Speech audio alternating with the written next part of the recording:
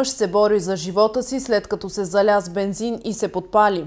Това са късните новини на ТВН на 3 септември. Аз съм Ина Виденова. Ето и част от акцентите от днешния ден. Свикват спешно епизоотични комисии в три града заради огнище на африканска чума по свинете. 250 места за инженери остават незаети в Русенски университет Ангел Кънчев. Обновената спортна зала Иван Ханджиев ще посрещне световни волейболни звезди. 68-годишна русенка стана поредната жертва на телефонните измамници. Сигнал за случилото се е бил подаден в петък. На телефона на жената се е обадил непознат, който се представил за полицай и е помолил за съдействие при залавянето на измамници.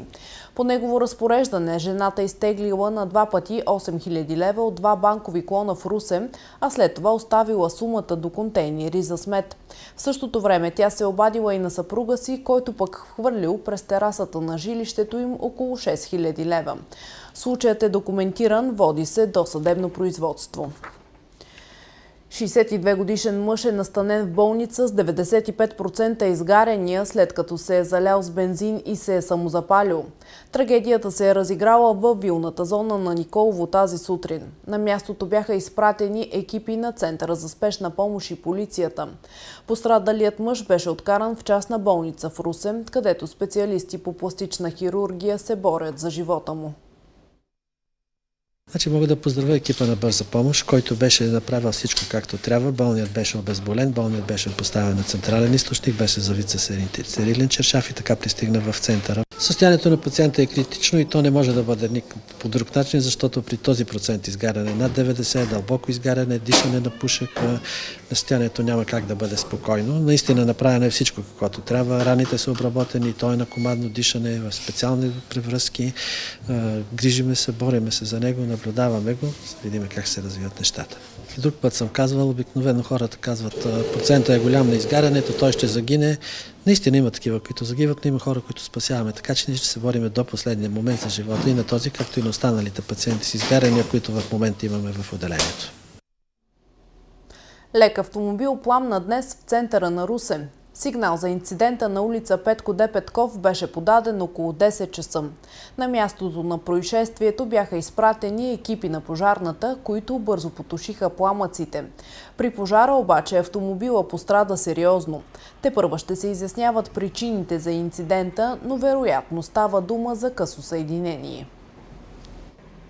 Русинският университет ще открие официално новата учебна година на 17 септември. Към момента има приети над 1600 студенти държавна поръчка и платено обучение. Очаква се броят им да нарасне. Около 250 са непопълнените места в инженерните специалности, съобщи днес ректорът на Русенския университет Ангел Кънчев, професор Христо Белоев. Той уточни, че приемат във висшето учебно заведение продължава през цялата година. В някои от инженерните специалности имаме непопълнени места. Те бяха обявени миналата седмица. Около 250 студенти. Имаме инженерни специалности, които са запълнени нацяло. Компютърни системи и технологии, софтуерно инженерство, технология управление на транспорта, компютърни науки. Но тъй като са много специалности, затова цифрата изглежда, че е така внушителна. Русенският университет обяви прием на студенти в 49 специалности в 23 професионални направления за новата академична година. Таксите за обучение останаха сред най-низките в страната. Новата специалност, която университетът разкри през тази година е софтуерно инженерство. Още по време на предварителното записване, обявените места в нея бяха заети. Капацитета, който има университета след последната институционална акредитация е над 19 000 студенти. Ние анонсирахме това, че оценката е 9,44. Изключително висока оценка. Нещо, което дава голям имидж на Русенския университет, но от друга страна и много големи отговорности и задължения. Първата най-основна задача, която ние имаме е високо качество на учебния процес. И съвсем отговорно може да заявим, че компромис с учебния процес в Русенския университет не се прави. Предишната институционална акредитация на Висшето училище бе през юни 2012 година с оценка 9,28. Поредна вандалска проява е установена в подлеза на кръговото кръстовище при булевард Скобелев и булевард Липник. На видеозаписите от охранителните видеокамери се вижда как две момичета рисуват по стените на подлеза на кръстовището. Миналата седмица огледалото в подлеза беше щупено за пореден път, а сигналът беше подаден към компетентните органи. От администрацията заявиха, че са сезирали институциите, които отговарят за реда и сигурността в града, за да се спре с вандалщините. Те настояват за налагане на наказания за родителите на извършителите, както и за възстановяване на щетите. От общината отправиха апел към русенци да сигнализират, ако станат свидетели на нарушения на телефон 112. Анонимността на свидетелите е гарантирана. Поглед към по-важните новини от света осъдиха двама журналисти на Reuters Миянмар на 7 години затвор, а силен пожар изпепели Националния музей в Рио де Жанейро. Междувременно стана ясно, че в Турция са заловени десетки членове на ислямска държава за последния месец, а в Гърция стачка спря фериботите и откъсна островите от континента. Вижте подробностите събрани в хроника.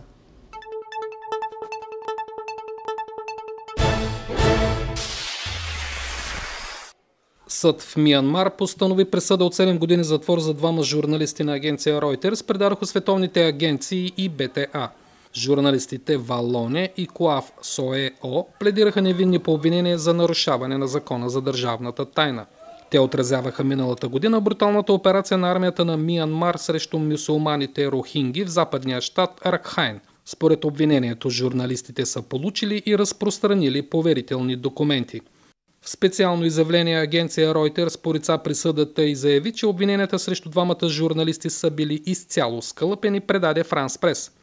Главният редактор на агенцията Стивън Адлър заяви, че осъждането на журналистите е голямо отстъпление в прехода към демокрация в Миянмар, което няма нищо общо с върховенството на закона или свободата на словото. Националният музей на Бразилия, който е най-старото научно учреждение в южноамериканската страна, изгоря в резултат на силен пожар в Рио де Жанейро. По предварителни данни няма пострадали, тъй като пожарът започнал след затварянето на музея. Четиримата охранители успели своевременно да напуснат сградата.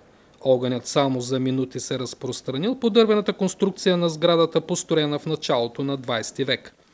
Колекциите му обхващат 20 милиона експоната, сред които археологически артефакти, египетски и южноамерикански мумии и старини, предмети на бита минерали. По предварителна информация, всичко това е безвъзвратно загубено в резултат на пожара. Междувременно в британския град Ливърпул десетки огнеборци потушиха пламъците, избухнали в известната историческа сграда Литъл Улц. Няма данни за пострадали, тъй като зданието не се обитава от 2003 година. Сградата наскоро е била продадена, за да бъде превърната в голямо кино и телевизионен център с 350 работни места. Причините и за двата пожара се изясняват. Турските сили за сигурност са задържали най-малко 94 предполагаеми членове на Ислямска държава през месец август, включително и чуждестранни граждани, съобщава вестник Хюриет Daily News. 52 предполагаеми членове на джихадистската групировка, включително 38 чуждестранни граждани са били заловени при антитерористични операции в Истанбул и в северо-западния окръг Коджаели. Съдът разпореди 23 души да останат в ареста. Един от арестуваните в окръг Коджаели е Ибрахим Фадли, брат на Набил Фадли, който се взриви през 2016 година в историческия квартал Султан Ахмед в Истанбул – като отне живота на 10 души, основно германски туристи, а други 15 души бяха ранени, предава БТА. До момента най-малко 319 души са загубили живота си при терористични нападения, извършени от Ислямска държава в Турция, които са насочени предимно срещу цивилното население, отбелязва вестникът. Влиятелният профсъюз на гръцките моряци обяви 24-часова стачка с искания за по-добро заплащане, поради което гръцките фериботи ще останат в пристанищата, прекъсвайки връзките между островите и континентална Гърция. Изтъквайки като причина замразяването на заплатите поради економическата криза в Гърция, моряците от профсъюза обявиха решението за стачка, след като не успяха да се споразумеят с работодателите за увеличение от 5% на заплатите. Независимо от двогодишния ръст в отрасъла, работодателите предлагат увеличение само с 1% сега и още един следващия юни. Връщаме се отново у нас. Областните епизоотични комисии в Русе, Силистра и Добрич ще бъдат свикани по спешност утре заради открита зараза от африканска чума по свинете. Тя беше констатирана в провадийското село Тутраканци, където вече са умъртвени над 80 животни. Заради заразата, от вчера селото е под възбрана за движение на животни и животински продукти. В същото време се извършва и дезинфекция. Външни хора в селото не се допускат, докато не приключи обработката. В 3-километровата зона има още едно населено място, от което днес се взимат проби. Резултатите ще станат известни до два дни. Предположенията са, че заразата е дошла от човек или чрез фуражи. Заради над 500 огнища от заболяването, които са открити в Румъния, вече месец на Дунав мост край Русе, автомобилите, влизащи от северната ни съседка, се дезинфекцират. Започна и изграждане на специална площадка. Монтиране легнал полицай, нещо да се забави трафика. До 10 септември трябва да бъде завършена и новата инсталация за дезинфекция на новото трасе, което ще е по друг маршрут. Мобилната станция работи на граничния пункт. Всички ловци в региона са били обучени как да действат при откриване на мъртви животни. Когато се констатира при обработка на трупа, че има някакви нарушения и патологично изменения във вътрешните органи, задължително се вика официалния лекар, който отговаря за общината и се взема пробата в негово присъствие. Ако се намери умрял труп, по същия начин сигнализират се общинския ветеринарен лекар и се взема проба. В зависимост от трупа, ако е пресен, се вземат същите проби, както се вземат от отстреления дивеч. На Дунав мост от месеци има поставени информационни табели и хладилници, където влизащите от Румъния да оставят хранителните продукти и меса. Засиленият контрол като превенция срещу африканската чума остава в сила, тъй като опасността в Русенско е особено голяма. На територията на региона има три свинекомплекса, където се отглеждат над 50 000 животни. Разстоянието между тях по права линия е едва около 10 км, а това означава, че при евентуално влизане на болестта само в едно от тях, всички животни в комплексите трябва да бъдат ефтаназирани. С 20 на 100 е по-ниска реколтата от пшеницата през тази година. Това сочат данните на Националната асоциация на зърнопроизводителите. В близките дни предстои заседание на консултативния съвет по зърното, на което ще бъдат обобщени резултатите от тази годишната реколта. За фермерите годината беше тежка заради климатичните условия, особено в Южна България, където имаше проливни дъждове. Видяхме едни климатични фактори, които повлияха на места суша, на места дъжд, за, за по-низката реколта. По наша справка на Националната асоциация, която е цялата страна, около 20% по-низко долу. Това неминуемо се отразява и на качеството на хлебната пшеница. По думите на Костадинов, 25% от пшеницата в наводнените райони е покълнала. Той допълни, че това няма да доведе до големи економически загуби и няма да се отрази на хлебния баланс на страната. Стандарта при износ е 4% покълнало зърно. Знаем, че това зърно, което заминава, търговците се взимаха, купуваха по-ефтино от тези райони, правиха се смесването и си го изнасяха. За зърнения баланс на страната няма проблем. Реколтата в област Добрич е със среден добив 540 кг от декар, което според специалистите е много добър резултат. На фона на агроклиматичните условия, грешките в технологиите на отглеждане, смея да твърдя, че годината е прекрасна. Тая година, като се има предвид колко засушлива беше април, какви дъждове ни паднаха по време на жътвата, че жътвата започнахме да женим от средата на юни нещо, ми запомняло доста дълго време, нямам изпомени за такова нещо. На предстоящото заседание на Консултативния съвет по зърното се очаква да бъдат изнесени окончателните данни за добива на всички есени зърнени и бобовите култури – пшеница, рапица, грах на худ и други. Жители на Великопреславското село Драгоево искат да се поставят изкуствени неравности на главния път през селото. След като отсечката е ремонтирана, камионите и колите се движат с висока скорост, което от своя страна застрашава живота на хората.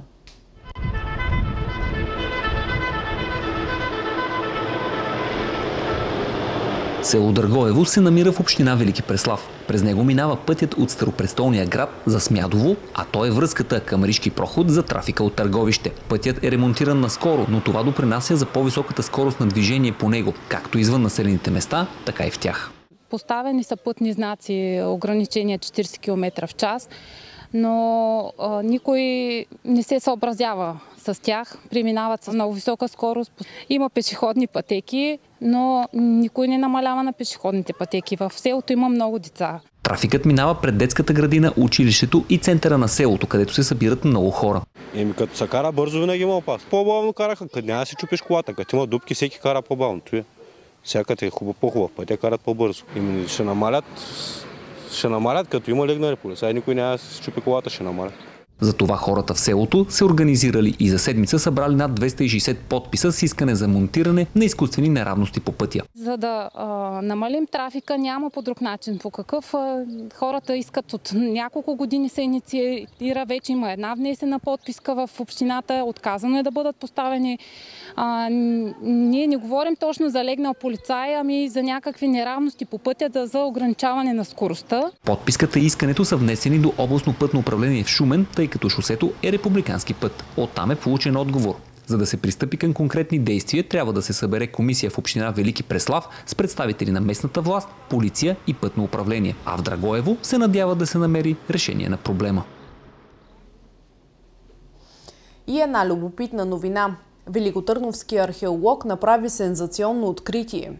Доцент Мирко Робов доказа, че старата столица е била разлюляна от мощно земетресение през 13 век.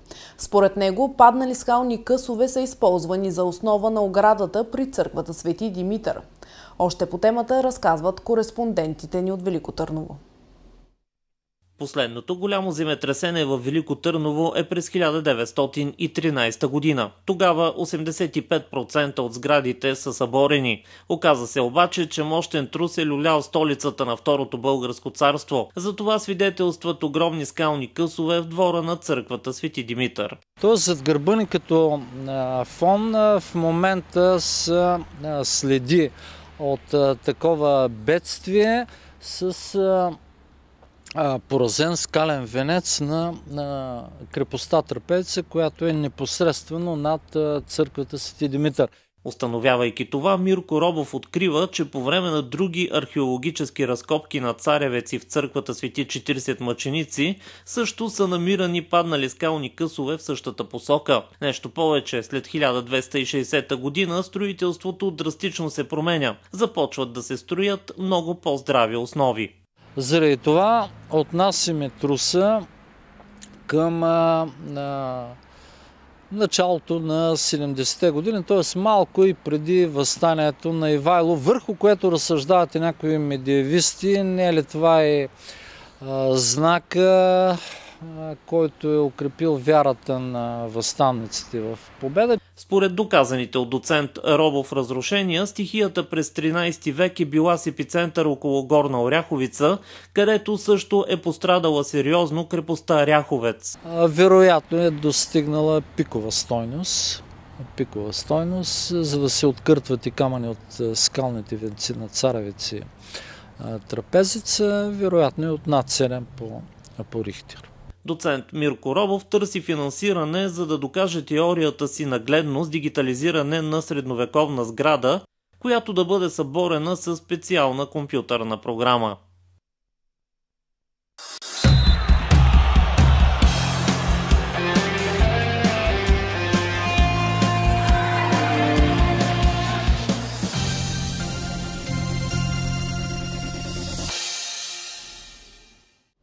Министърът на младеща и спорта Красен Кралев официално откри изцяло обновената волейболна зала Иван Ханджиев Сапа.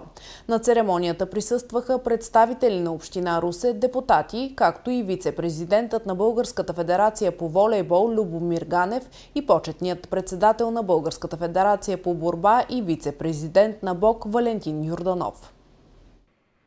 Ремонтните дейности на залата стартираха преди няколко месеца, като е направен цялостен ремонт. Съблекалните и санитарните помещения са обновени, положена е нова настилка и външна изолация, поставена е нова мрежа на игрището. Залата е изцяло обновена със средства от Министерството на младеща и спорта на стойност 220 000 лева, а средствата за обзавеждане в размер на 18 000 лева са предоставени от Община Русе. Се надяваме школата да тръгне, нали, затова правиме и тези домакинства на големи форуми, световни, европейски паренства. Целта е българските деца да могат да се докоснат до магията на най-добрите български спортисти, да се запалят, защото наистина сме стигнали един критичен процент от млади хора, които се занимават с спорт, под 30 процента от младите се занимават с спорт, така че трябва да, да направим всичко възможно като държава, да им осигурим и условия за тренировки, пък и допълнителна мотивация. Съоръжението ще се използва предимно от детско-юношеската школа на Дуна в Русе. Освен това ще бъде и една от залите за тренировка на отборите, участници в група В на Световното първенство по волейбол, на която Русе е домакин. Сега е момента да върнем големия спорт в Русе, да накараме, ето виждате отбора, мъжки отбор на Дунав е в Суперлигата. Знам, че имат така много добро финансиране, това означава, че със сигурност очакваме от тях да се борят за призовете места. И до година Надявам се да ви зарадваме с още добри новини, да може да провеждаме състезания от международен ранг и билото при мъжете или при жените. Красен Кралев обяви, че следващата спортна зала, на която предстои да й бъде направена реконструкция, е тази на боксов клуб Русе, като не пропусна да спомене за многобройните постижения на русенския бокс. Това се разделяме. Още новини можете да намерите на сайта ни TVNBG. От мен и на Виденова и екипа ни спокойна вечер.